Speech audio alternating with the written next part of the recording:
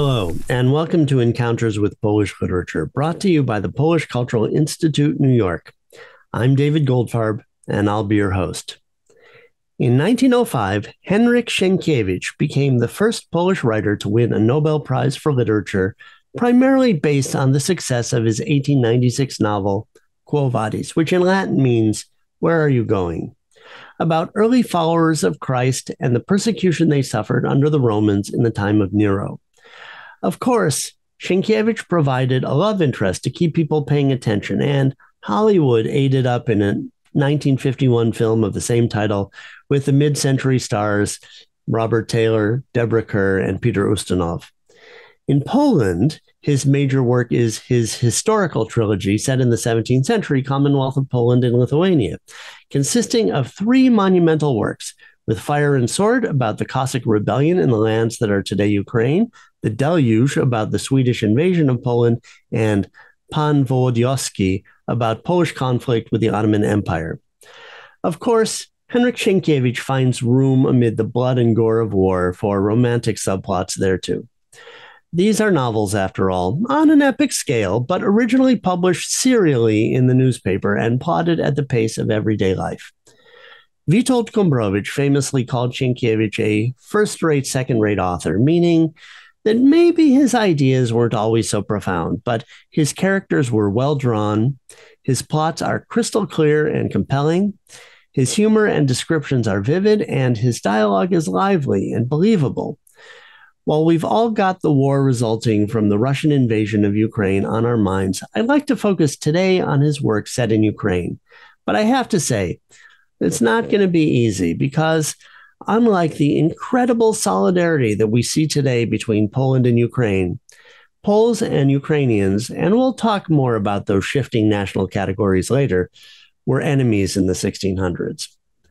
The leader of the peasant uprising against Polish landowners and their Jewish agents in 1648 was Bohdan Khmelnytsky, who is held up as a national hero to Ukrainians and a villain to Poles and especially to Jews.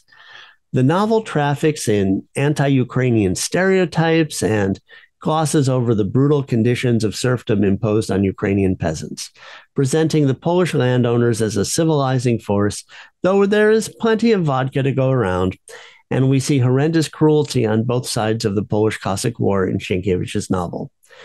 We don't usually think of Poland as a colonial power quite like the British Empire or Belgium, France, or Germany, but how else can we understand what appears to be an exploitative colonial relationship between Poland and the lands beyond the Dnieper River? Maybe it's not exactly the same, but there's something to it. Rather than alighting those difficult issues, I'd like to begin to address them as best we can in our short program by reading and analyzing some passages from With Fire and Sword, and to ask what the issues were in the 17th century when the conflict happened, in the late 19th century when the novel was written, and for us as 21st century readers who have to look beyond these terrible legacies to appreciate the situation that's happening today. Before we meet today's guest, who has been writing about these issues, I'd like to thank everyone who has been following and supporting Encounters with Polish Literature and remind you click the thumbs up, ring the bell, subscribe, leave a comment to help the program reach more viewers by moving up in the search rankings. Okay. Stanley Bill is Associate Professor of Polish Studies and Director of Slavonic Studies at the University of Cambridge. He works on 20th century Polish literature and culture and on contemporary political discourse in Poland. He is the author of Czesław Miłosz's Faith in the Flesh Body, Belief, and Human Identity, published by Oxford University Press in 2021, and co editor of the Routledge World Companion to Polish Literature, also published in 2021. He has published translations of Miłosz's novel, The Mountains of Parnassus. Maybe you haven't heard of that one, by Yale University Press in 2017, and a selection of short stories by Bruno Schulz entitled Nocturnal Apparitions, published in London in 2022. He is founder and editor at large of the news and opinion website, which I highly recommend, Notes from Poland. Stanley, thanks for joining me on Encounters with Polish Literature. Pleasure to be here. Great to have you. So, um, in um, this, uh, you know, this is uh, Sienkiewicz's um, you know major Ukrainian novel, one of his most uh, popular novels in Poland, uh, Ogniem i Mieczem, with fire and sword. And um, what is the uh, what's the political background? What's going on between uh, Poland and uh, what today we think of as the Ukrainian lands? Before we begin, because we are uh, discussing a novel today that is set in Ukraine and the Ukrainian lands of the Polish-Lithuanian Commonwealth, um, I, I'd like to take the opportunity just to express uh, solidarity with the people of Ukraine uh, today who are fighting a war uh, for uh, an existential war against Russian aggression and a war in defense of wider European values, and to just express my recognition and admiration for the Ukrainian people in that struggle.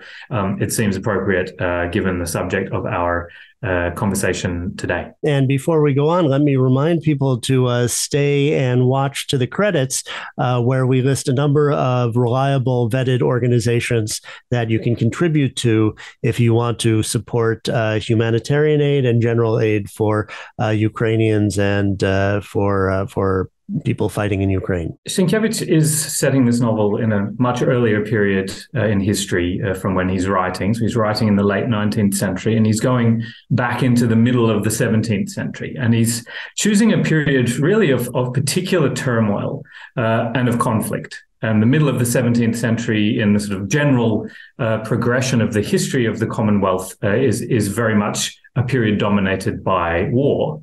Uh, and that was, of course, congenial for Sienkiewicz from a certain point of view because it suits the type of adventure novel uh, that he uh, set himself uh, to write and would allow him to realize this portrait of knightly virtues and of the warrior uh, characters uh, that are in the novel. So, certainly, that was one reason to choose that period where the Commonwealth is at war. But when he's focusing on this particular region of what even in these times in the 17th century, in the mid 17th century, are, are beginning to be referred to as Ukraine.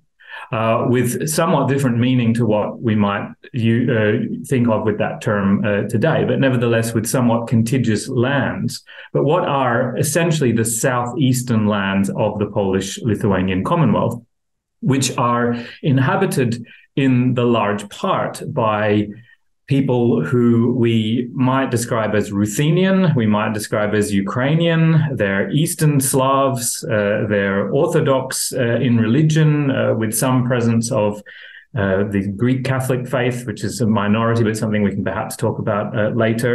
But then with these present, the presence at the same time of Roman Catholic Polish nobility and gentry. And as we might also come to later, this is this is uh, quite a complex question of what is Polish at this time and what is Ukrainian, what is Ruthenian. All of these terms are up for discussion. They're ambiguous, and there's debate about how they should be used and what exactly uh, they refer to. Uh, but nevertheless, we have these southeastern uh, lands of the Commonwealth in the period of the 17th century, which are the site of a kind of domestic conflict. And the domestic conflict is between the representatives of the, in very broad terms, in simplifying terms that we should then complicate. Uh, but in a way, these simplifying terms is the way in which Sienkiewicz frames his novel. And that is the conflict between the Roman Catholic, Polish, representatives of the nobility who are framed as the representatives of the Republic, of the Rzeczpospolita, of the Commonwealth, of the Polish Lithuanian Commonwealth, and of its king. And then a band of rebels, a group of rebels that begins a kind of revolution uh, in these southeastern lands. Uh, a great rebellion, which historically is often known as the Khmelnytsky uprising, because the leading figure is Bogdan Khmelnytsky, a Cossack, but also a member of the Polish Szlachta in a formal sense, which is something that we can come back to later.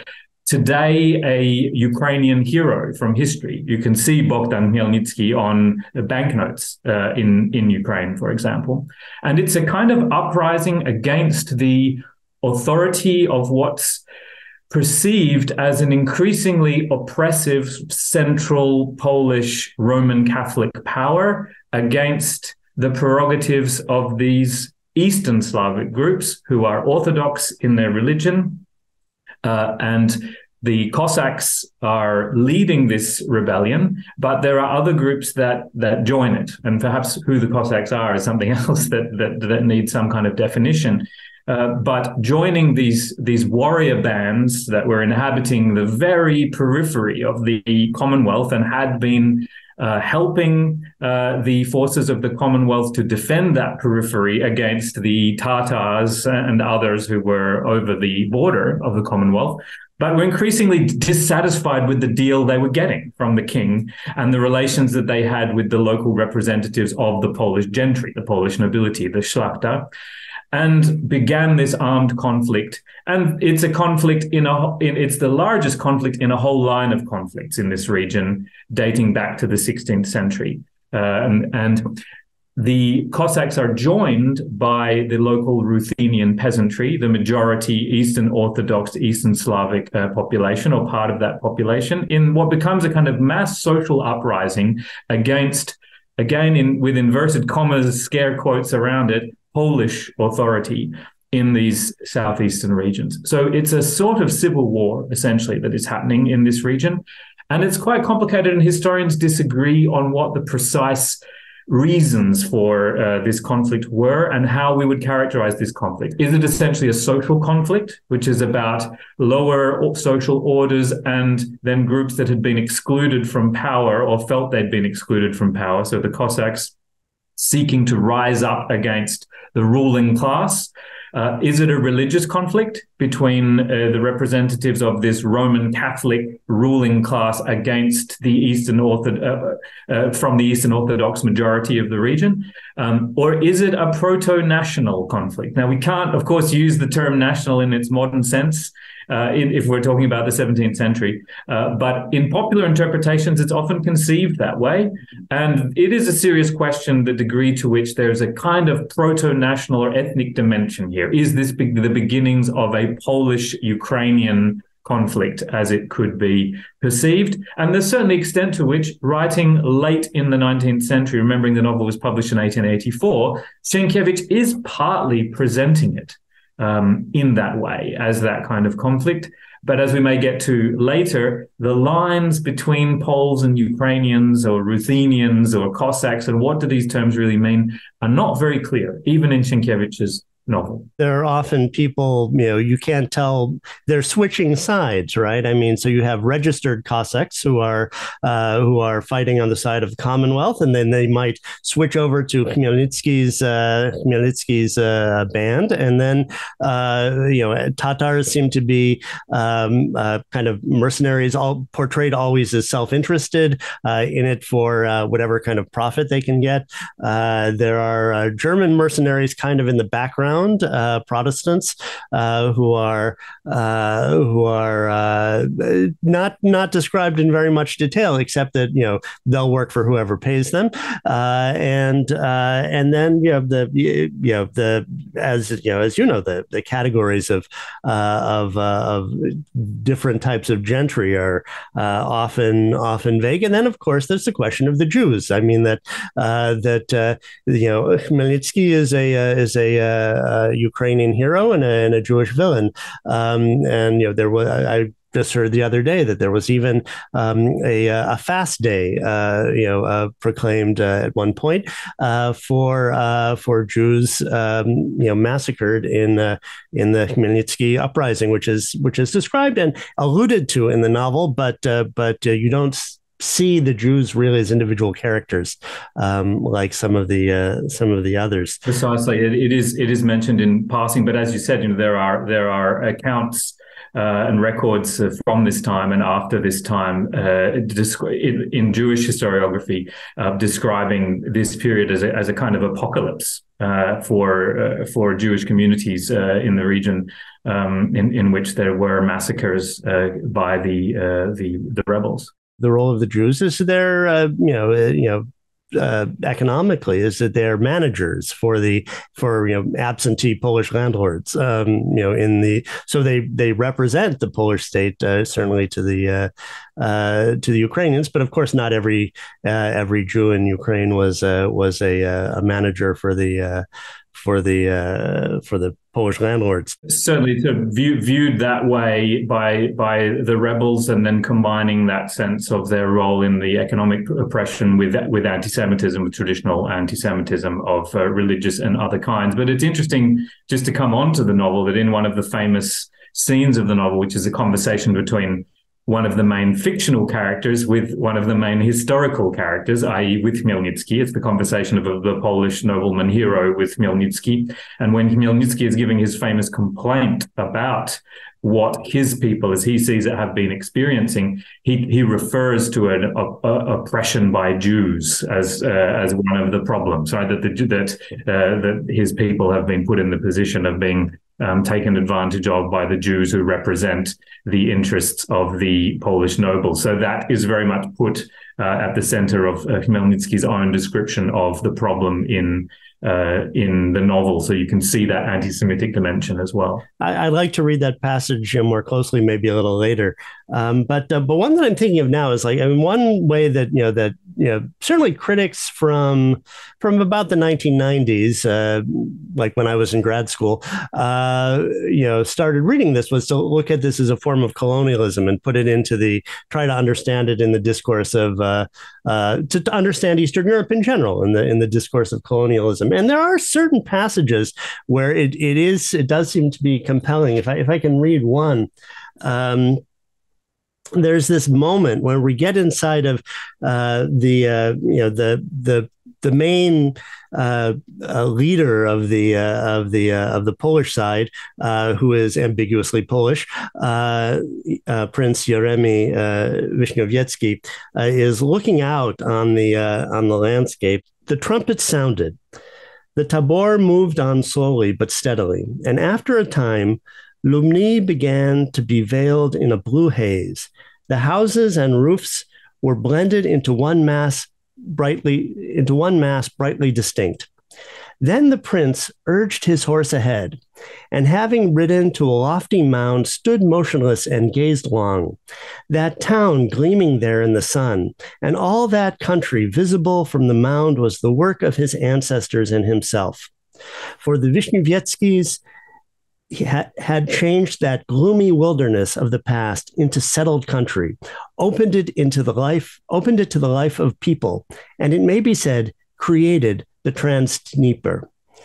And the greater part of that work, the prince had himself accomplished. He built those Polish churches whose towers stood there, blue over the town. He increased the place and joined it with roads to the Ukraine they say the Ukraine, of course, in this uh, 19th century translation uh, by Jeremiah Curtin.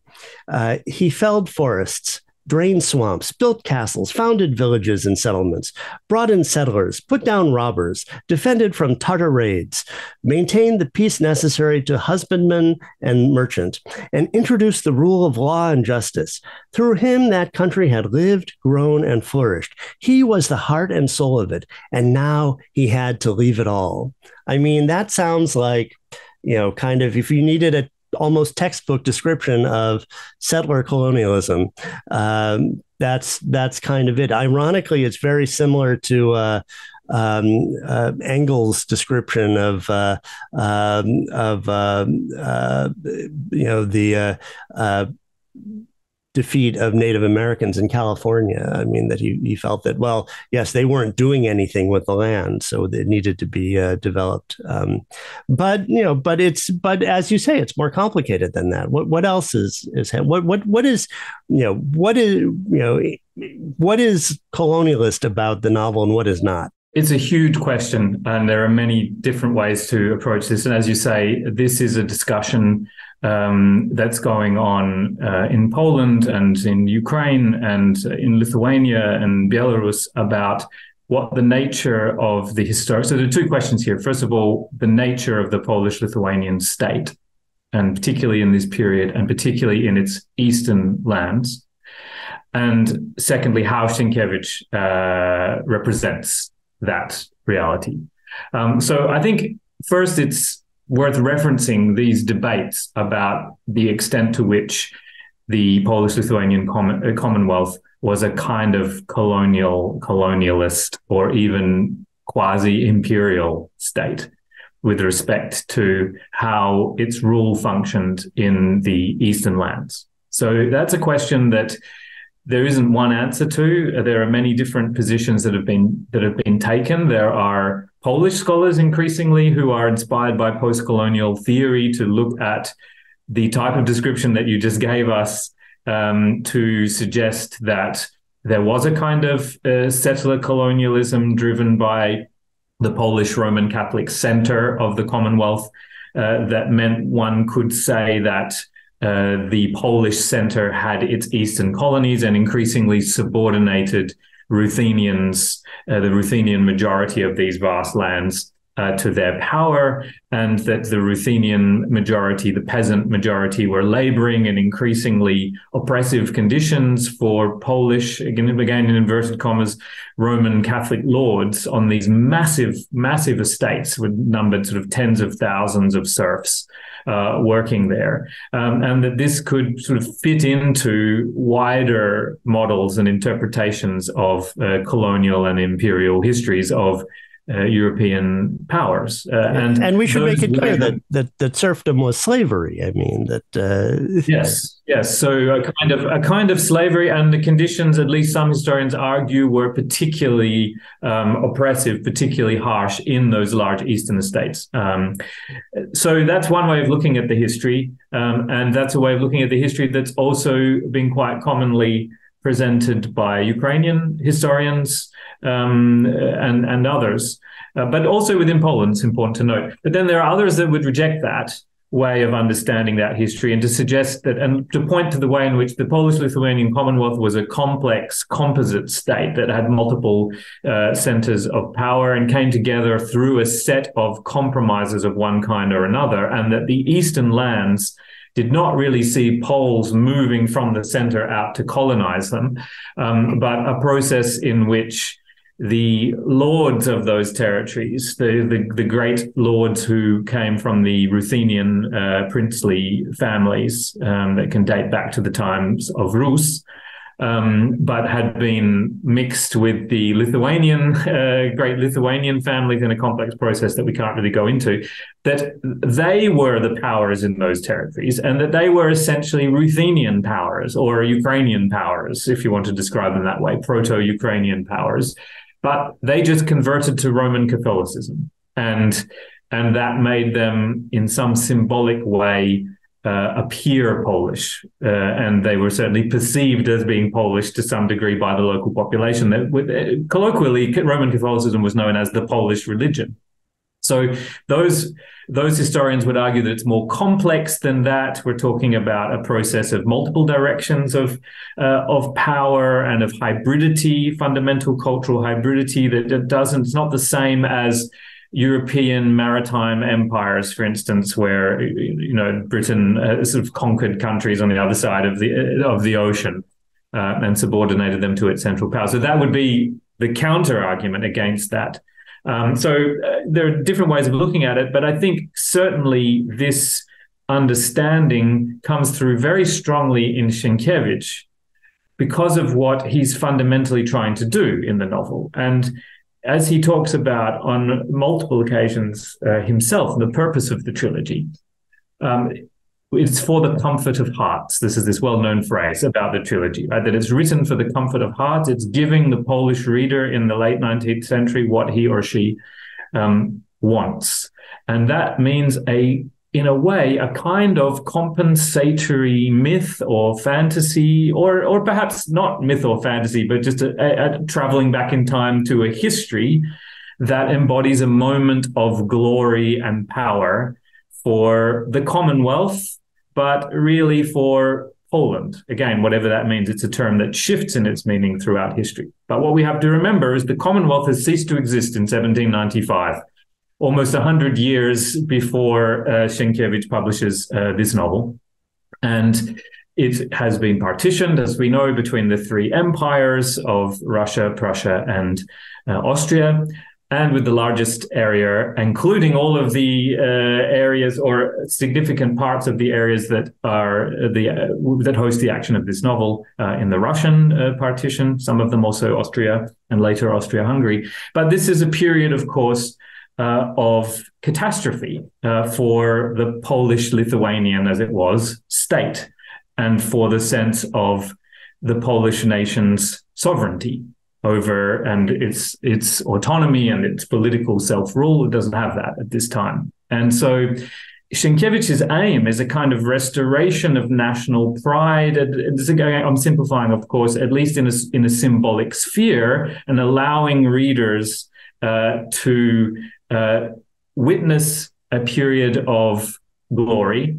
And that means a kind of myth about Polishness and the function of Polishness in the Eastern lands. And so, in a sense, it is true that what Sienkiewicz represents in the novel is that that a kind of colonizing myth. So these very stark dichotomies between a barbaric, dark, tumultuous, chaotic, frenzied, violent, uncultivated, wild East and the civilized, uh, cultured, uh, religious, organized, ordered West.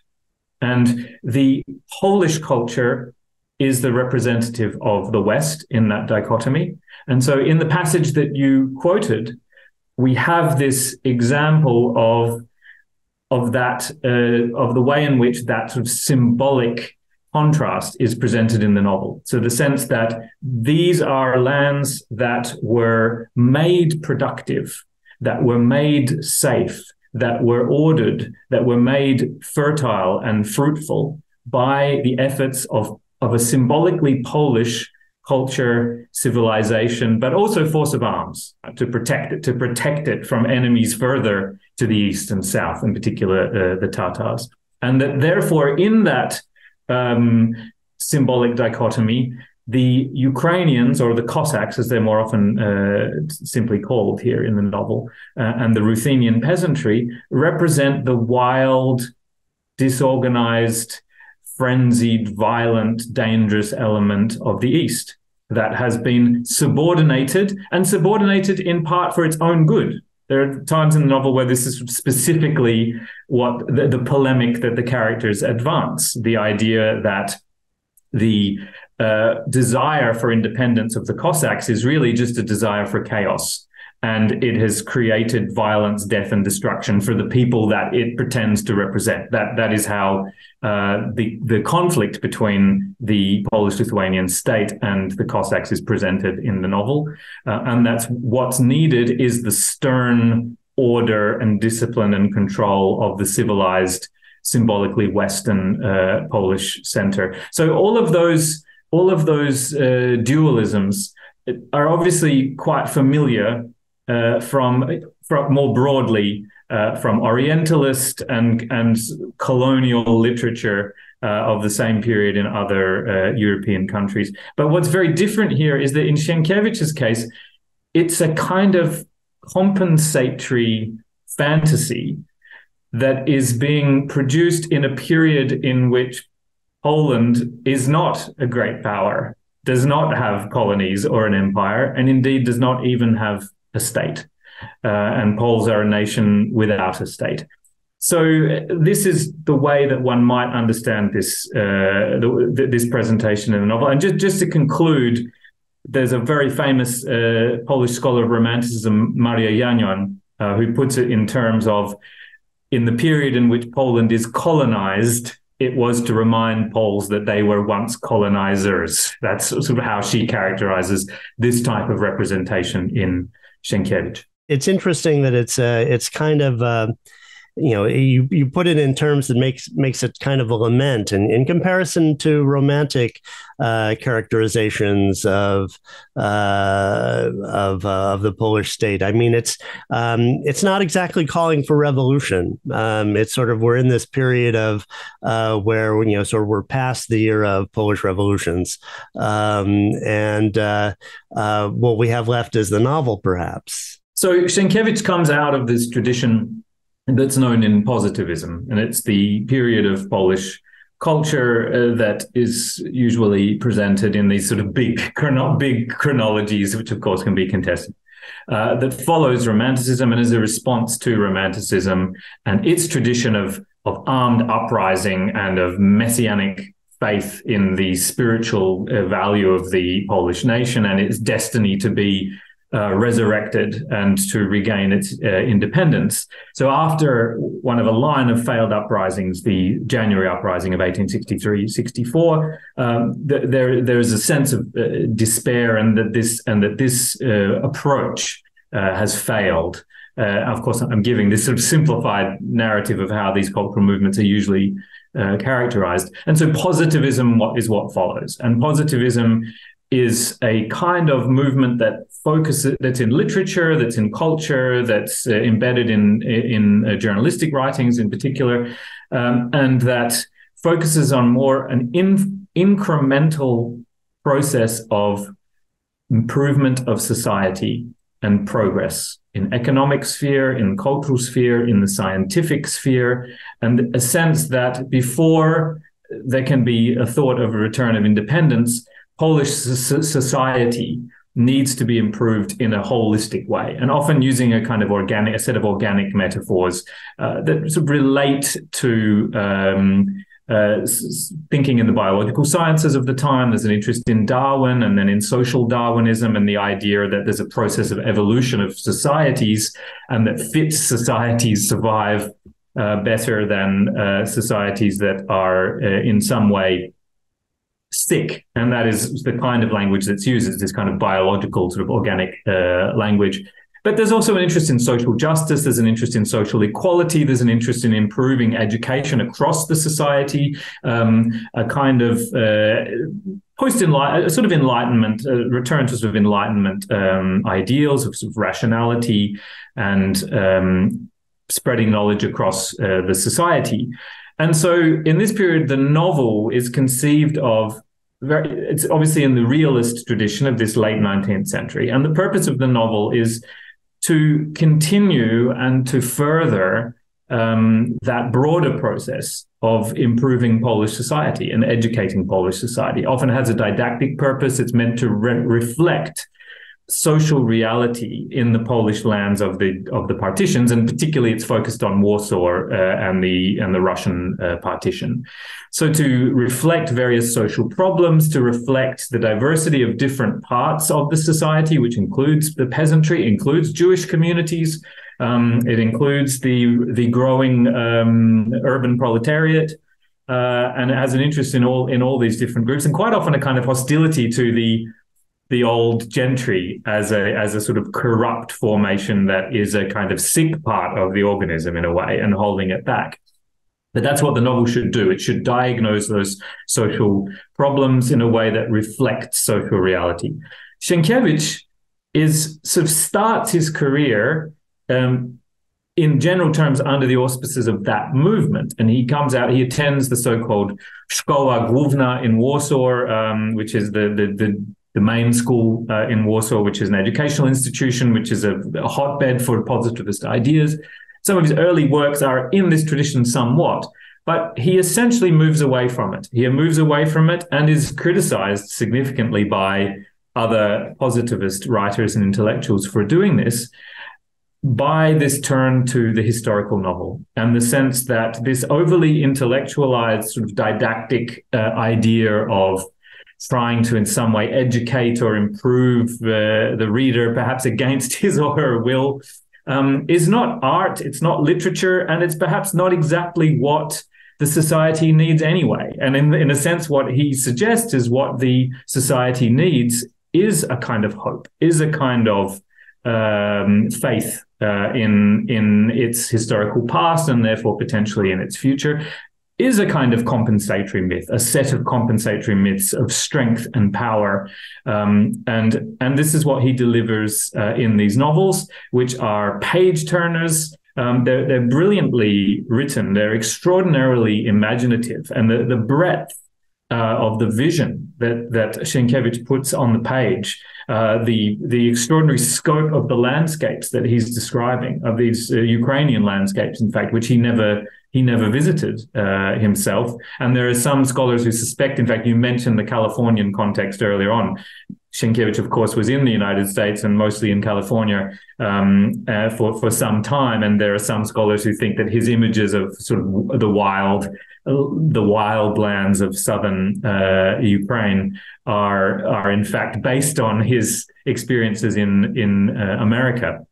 Um, but the extraordinarily imaginative and extraordinarily successful with those readers. So in that sense, Sienkiewicz is a turn against this positivist tradition that he comes out of with its faith in science, in progress, a kind of sober rationalism and realism. He wants to return to imagination, to history, and to a kind of a, a faith in the mission of the national community on some level.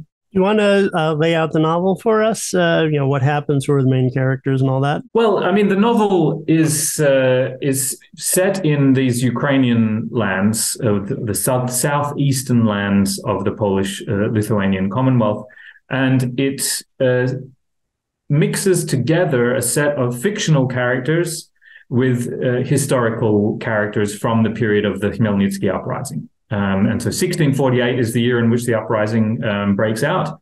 Uh, and the novel is set in the years 1648 and, and 49. And it um, is centered around a set of um, historical battles.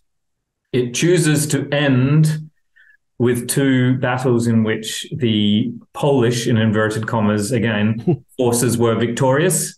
So it sort of creates this framing that allows the reader to have a sense. I mean, this is a difficult time for the Commonwealth. In in some ways, looking back retrospectively, this is the beginning of the Commonwealth's long decline as this civil conflict um, creates a situation in which a large part of those eastern lands would eventually be joined to the Russian Empire um, from later in the 17th century, the Commonwealth would lose those lands uh, forever, essentially, uh, and would the process of decline would, would continue from there. So Sienkiewicz uh, chooses a t- difficult time for the Commonwealth, but he frames the novel in such a way that you have the rebellion, you have the catastrophe of the destruction of the rebellion, which is described in the novel, the beginnings of the rebellion. It, it's very um, vivid and sometimes disturbing and descriptions of the of the violence. It's a very very violent uh, novel and quite gory uh, descriptions of uh, of torture and um, and uh, massacres of civilians and, and and soldiers in these lands.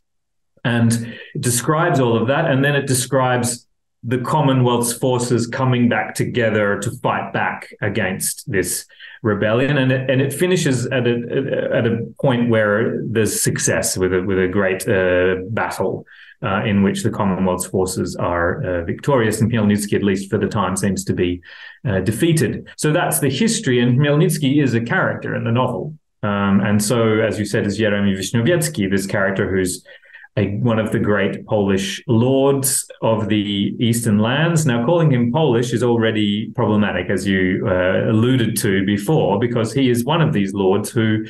Uh, so, what, what, what should we call him? So, Vishnevetsky in Ukrainian or Wiśniowiecki in Polish? Well, both and he is uh, he belongs to one of the great uh, Ruthenian princely uh, families, and he speaks Ruthenian, and he is an Eastern Orthodox lord um, who un- understands himself as affiliated with this tradition of Rus uh, that his family comes out of.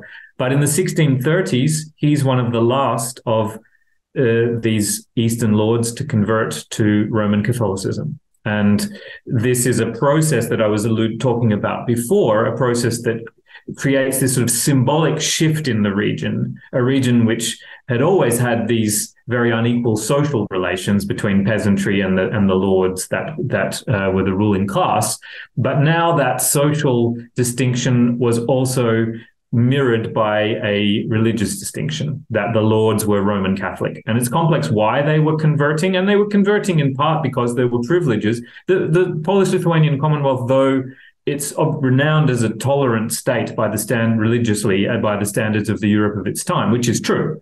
But that doesn't mean that it was an entirely neutral state uh, with respect to denomination. And Roman Catholicism always had privileges and increasingly came to dominate. So there were various um, privileges and um, positions that were not open to people of the Orthodox faith, uh, faith, and that so Catholicism and the Polish language became the religion and language and culture of power in a way, and so that's the extent to which those colonial narratives are at least partly true, and yet Wiśniowiecki uh, converted uh, voluntarily, as did, as did the other lords, but under what kinds of pressures those would be.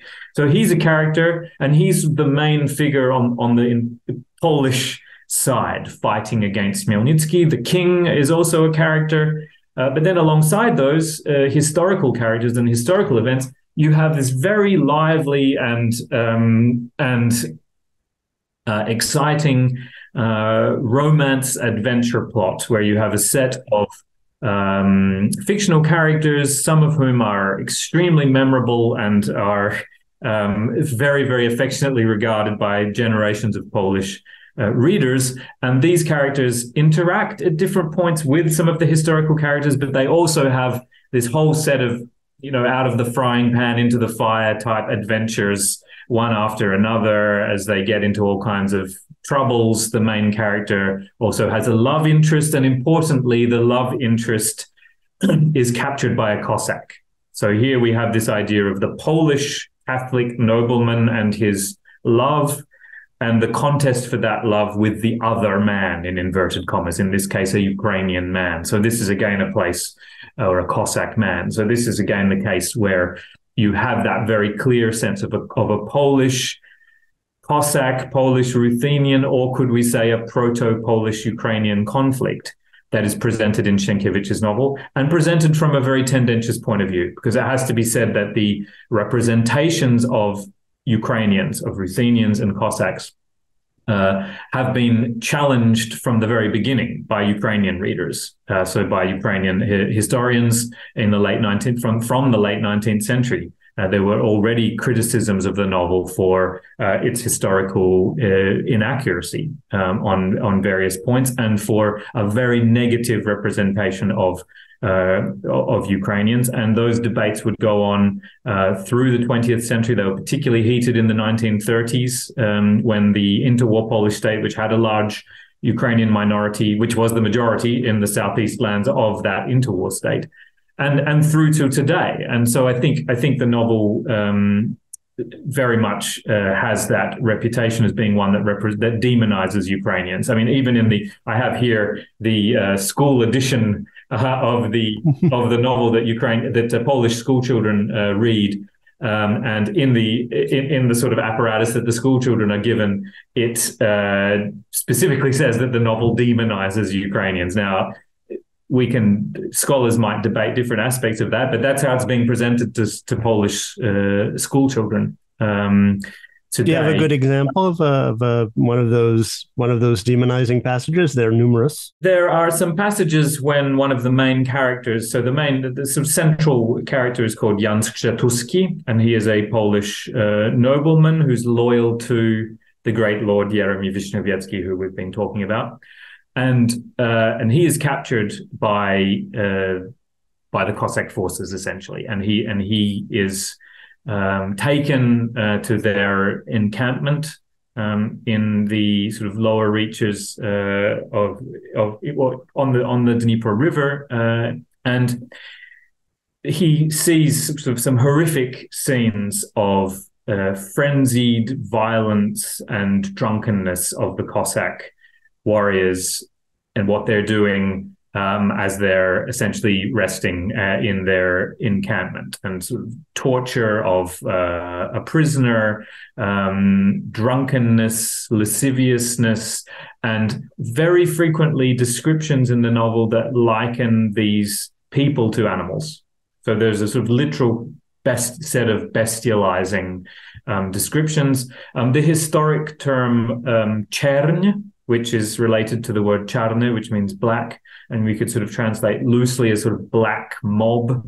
Um, is used to describe the Ruthenian uh, peasantry um, in a way that some critics even suggest might have a kind of racialized overtone, which we can again fit together with those sort of colonial uh, interpretations. Other others uh, say that, that, that that's not the case; that there's a different uh, etymology. But nevertheless, th- there's a whole network of bestializing uh, descriptions uh, of the Ukrainian characters and the Ukrainian forces, whereas the Polish forces are also violent. And in fact, Vishniovetzky is described as being brutal as well as he's putting down the uprising. Um, but it's a kind of ordered, organized uh, violence that is, at least in the terms of the novel, presented as being the arm of law, right? The arm of legitimate authority reimposing order on chaos um, and and frenzy. So it's a kind of righteous violence in the way that it's presented in the novel. So so that dichotomy uh, is is clearly there um, in those uh, representations. Um, and the some of the scenes are, are really quite horrific of the uh, of, of the Cossacks and and the, the, sort of frenzy of violence in which they're um, well, in fact, murdering one of and torturing uh, one one of their own uh, in in the scene that I'm referring to. Right. Do you want to look at that uh, at that uh, that passage of uh, Khmelnytsky's complaint as to you know what they're actually fighting for? So the the complaint is uh, this: Look around at what is going on in the Ukraine. Oh, rich land, motherland, native land. And who in her is sure of tomorrow? Who in her is happy? Who is not robbed of his faith, spoiled of his freedom? Who in her is not weeping and sighing, save only the Vishnevetskys, the Pototskys, the Zaslavskys, Kalinovskys, Konietspolskys, and a handful of nobles? For them are crown estates, dignities, land, and people. For them, happiness and golden freedom. And the rest of the nation in tears stretch forth their hands to heaven, waiting for the pity of God, since the pity of the king cannot help them. How many, even of the nobility, unable to bear this intolerable oppression, have fled to the Sich, as I myself has, have fled? I want no war with the king. I want no war with the commonwealth. It is the mother and he is the father. The king is a merciful lord, but the kinglets, with them, it is impossible for us to live. Their extortions, their rents, um, meadow taxes, mill taxes, eye and horn taxes, their tyranny and oppression exercised through the agency of Jews cry for vengeance. What thanks has the Zaporizhian army received for great services rendered in numerous wars? Where are the Cossack rights? The king gave them, the kinglets took them away. Nalivaika quartered, Pavliuk burned in a brazen bull. The blood is not dry on the wounds inflicted by the sabers of Zholkievsky and Konietspolsky. The tears have not dried for those killed and impaled on stakes. And now look, what is gleaming in the sky? Here, Khmelnytsky pointed uh, through the window at the flaming comet, and there's a there's a comet that actually historically had you know uh, passed over passed over the earth at that time. Sienkiewicz starts the novel with that sense of there being signs in the heavens and earth. So it's a very interesting passage, and of course it uh, and critics who want to um, complicate that that claim or perhaps even uh, refute to some extent the claim that the novel is exclusively negative in its representation of Ukrainians often bring up this passage. So the sense that the Ukrainian perspective is given, right? So Khmelnytsky's complaint um, gives that sense of the Ukrainian perspective. But that perspective, it's only it's one moment in the novel, and it's spoken by a character who, in general, is very negatively represented. So Khmelnytsky is represented as a sort of petty, violent, chaotic man uh, who is who has launched the uprising essentially on the basis of his own personal uh, dispute um, with a with a Polish uh, nobleman, and it's a it's a it's a, a negative representation. Uh, and then he is refuted by Jan Skrzetuski, the character with whom uh, he is speaking, the, this, this central character of the novel, the Polish Catholic nobleman. And and there are two arguments that um, Skrzetuski raises. First of all, he does actually to some extent acknowledge that the relations are not perfect uh, in these regions. The relations are not perfect between the uh, what you in your translation was kinglets, but I think that the, the princes uh, or the great lords of these eastern uh, eastern lands. The translation was Jeremiah Curtin, isn't it? Yeah, yeah. It, it's unfortunate that there isn't like really a great translation. There's a more recent one, but it's uh, it was when it came out, it was generally criticized for being uh, embellished. So we have either the old stodgy one with a lot of awkward language, uh, or we have the uh, the new one that has stuff that's that's not there.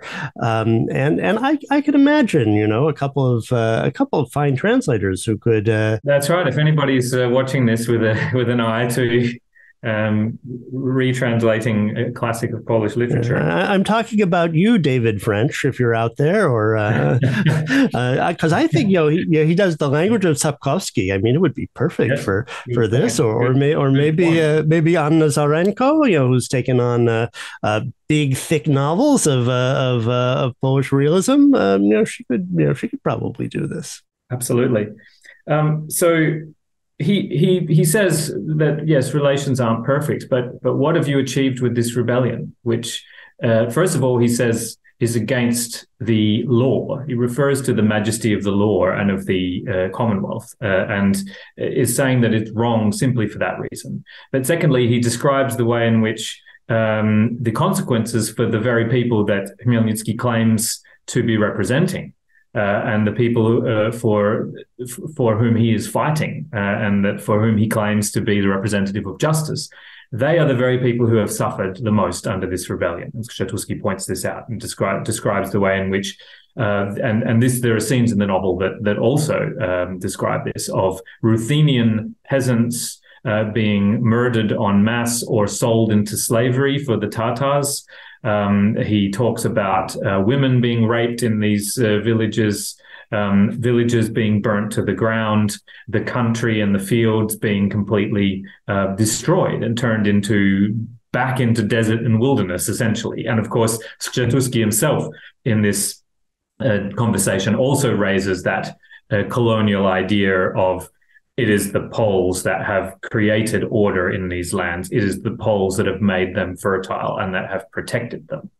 Um, so he makes all of those arguments and, says essentially all you have brought is destruction and terror uh, and nothing else to Khmelnytsky. And really has no rejoinder to this. He gets very angry in the conversation, uh, but it, it, it is not a balanced exchange of views in which uh, the reasons, really anywhere in the novel for the rebellion, are explored uh, in, with any real sort of neutral uh, attention or curiosity.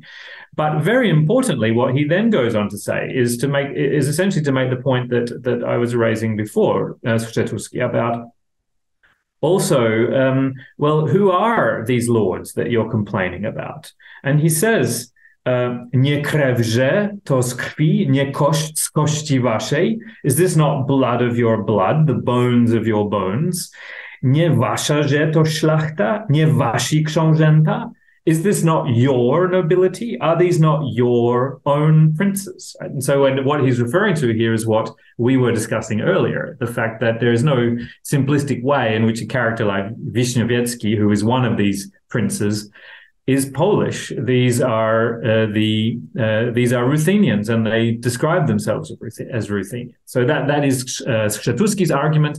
Um, of course, the rejoinder to that is that they, you know, they have cut themselves off uh, from the Ruthenian uh, community, and they are traitors essentially to that community. And that is historically how those um, figures were often understood uh, at that time. But that's the it's it's a very interesting moment uh, in the novel, and it is true that a Ukrainian perspective is presented or voiced through uh, Khmelnytsky, but it, it's certainly not presented in a balanced way. Um, in that conversation, uh, Skrzetuski's perspective is much more powerful in the way that the scene uh, the scene is framed.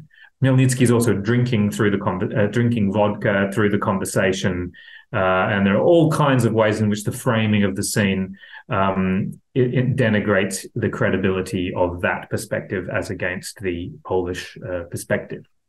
And that's these are the reasons that the novel's been so negatively received by generations of Ukrainian readers and by Ukrainian scholars, and today would often be viewed that way in Poland as well, as I've said, by Polish scholars. That, that would be a shortcoming uh, of a significant shortcoming uh, of of the novel from today's perspective, and perhaps above all, in the perspective of the very present day, yes. in which Ukraine is fighting a war for its survival against um, a, a, a, sort of neo-imperialist, uh, neo-colonial um, tyranny uh, from Russia, and in which Poles and Poland are in the front line of supporters uh, of Ukraine and Ukrainians. So, particularly in that context, this this novel um, might be might be viewed as being an, a, it's it's the difficult past between Poles and Ukrainians, and in which the president of Ukraine is is Jewish. Um, so, you know, to, to further yes. further further yes. complicate this. I mean, I I'm, I'm, i was thinking like you know, reading this now compared to you know, I was recalling you know, reading it as you know, as kind of an exercise, you know, in graduate school, you know, in the '90s, you know, long ago, and uh, you know, thinking about it in the context of the literary history of positivism and so forth, and and and uh, frankly being much more interested in you know the other avant-garde writers that I write about uh, than in uh, in Sienkiewicz. Uh, and now you know here we are. Uh, we're all uh, you know those of us who are who are engaged. Uh, you know are you know closely following the war in Ukraine. We you know suddenly you know have this knowledge of the of the geography that we didn't have or that I didn't have you know 30 years ago.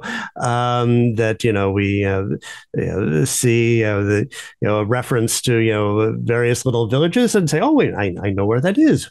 Huliaipole, that's, you know, just upriver of, uh, of Kherson. Yeah, so, so we can, you know, things, things are much more, um, much more clear. And, you know, we, we kind of realize that, you know, some of the, the issues in this war are, are still, you know, they're, they're not ideological things, but they're part of nature. Like that the, uh, uh, you know, in the spring, uh, the, you know, the rains uh, are preventing the, you know, the you know we've been you know, for those of us following, you know, for the last several weeks, you know, people have been asking, so when, when is the counteroffensive going to start?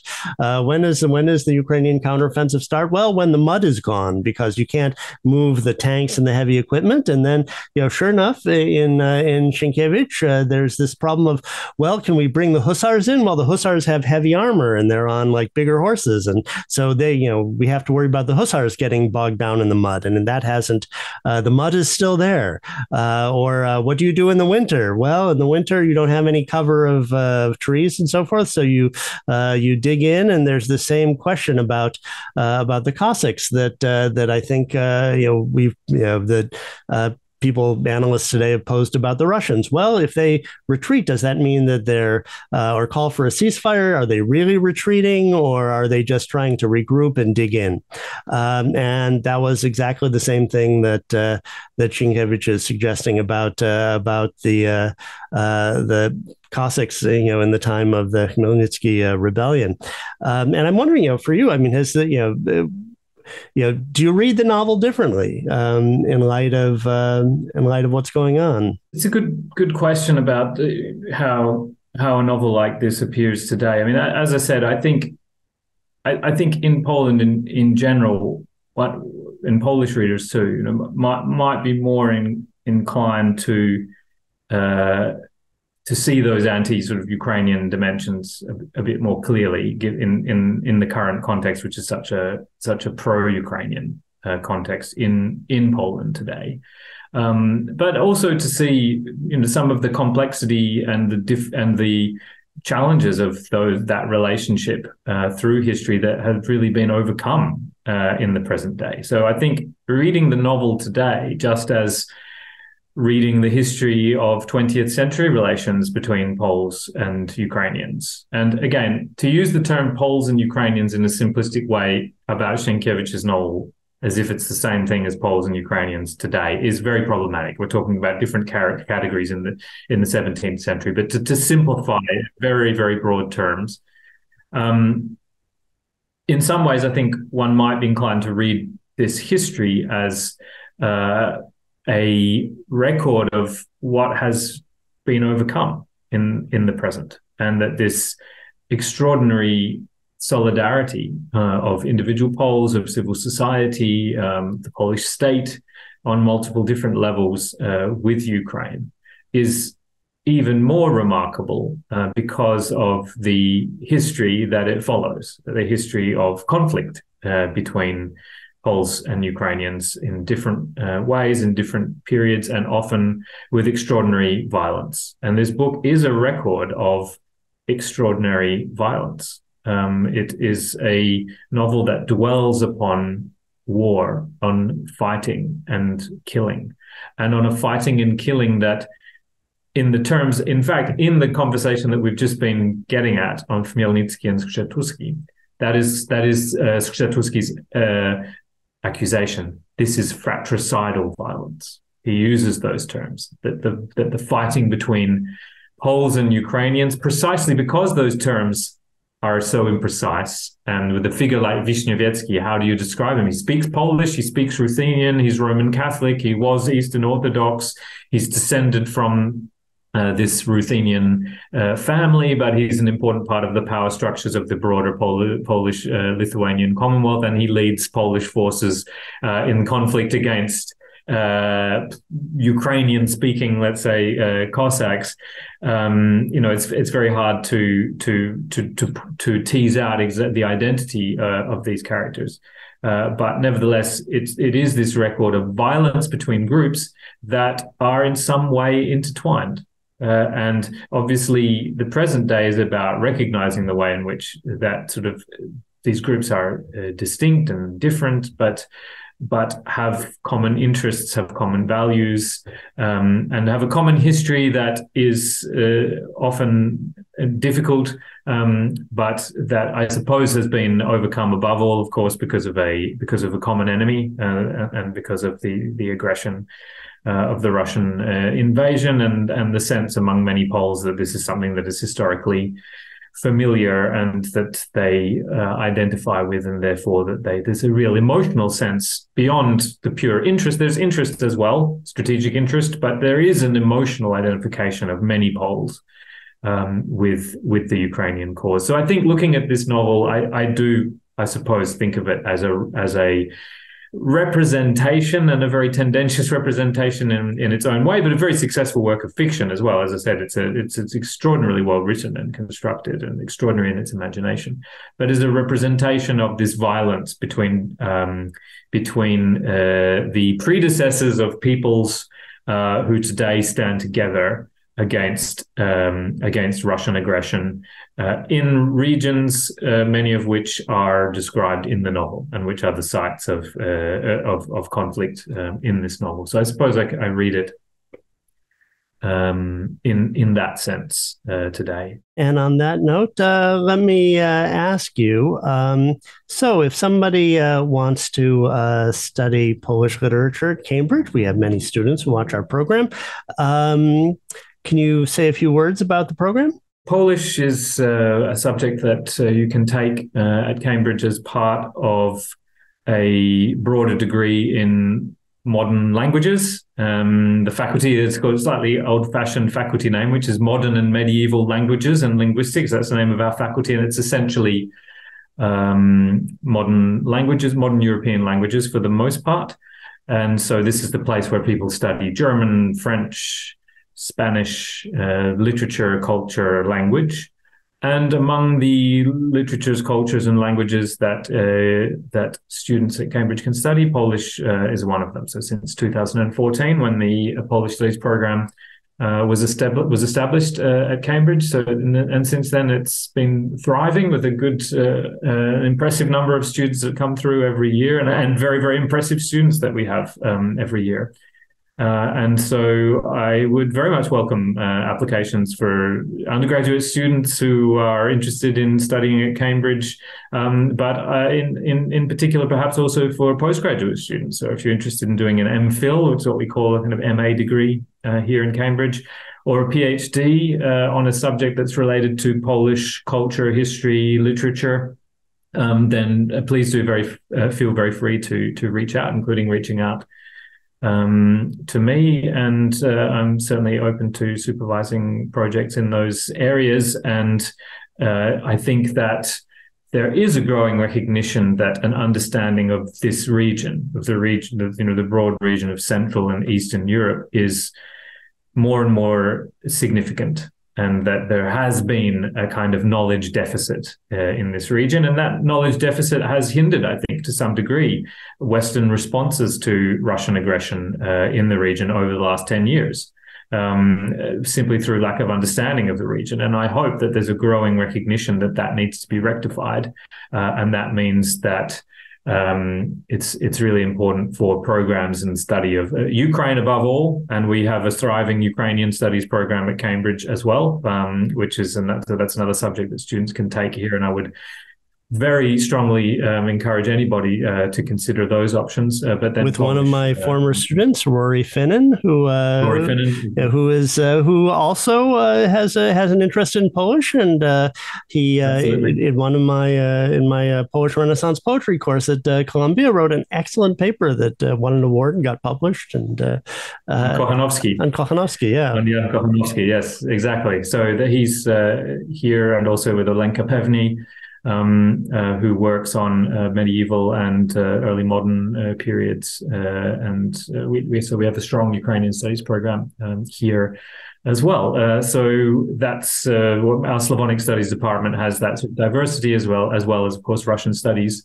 um, within that broader faculty of European uh, languages. Also, before you go, let me ask you: uh, you have a new, uh, you're a co-editor of a, a new uh, Routledge anthology of essays on uh, the history of Polish literature. Are you not? Yes. So the Routledge uh, World Companion to Polish Literature, which came out late 2021, which it feels new to me still. through, it's still it feels new to me as well, but it takes readers through a, a history of Polish literature through key texts. So it's interpretations of key texts of Polish literature from Bogu um, the early uh, medi- the, well, the late medieval song, often described as the first work of Polish literature, um, through to uh, Olga Tokarczuk, uh, and including a chapter on uh, Sienkiewicz for that matter. But it, it, looks at uh, individual texts, and we have um, over 30 uh, contributions from a wide range of experts on Polish literature from across uh, the world.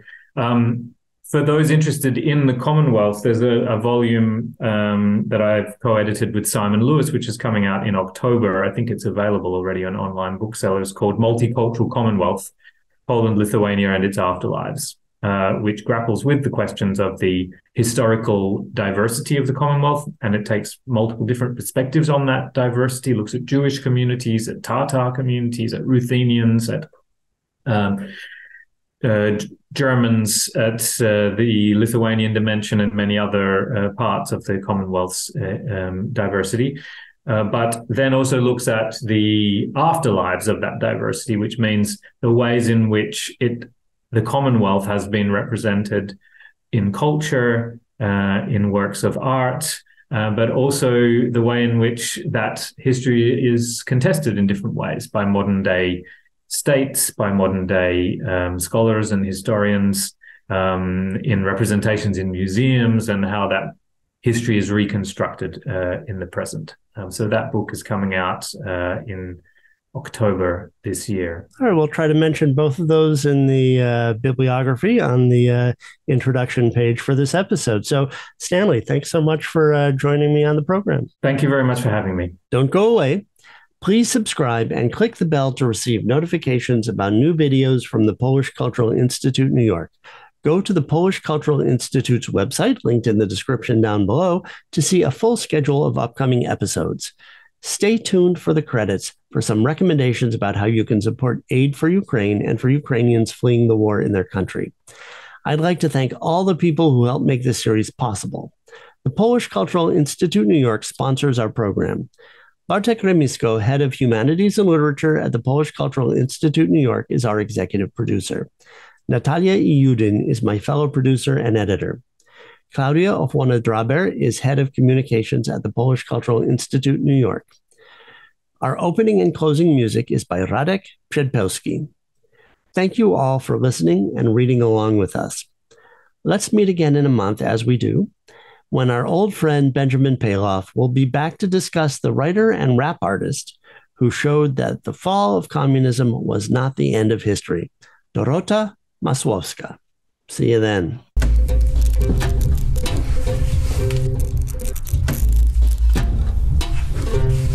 szary dzień, jak zawsze w tej okolicy. Cała sceneria dodaje się chwilami fotografią z ilustrowanej gazety. Tak szare, tak płaskie są domy, ludzie i pojazdy.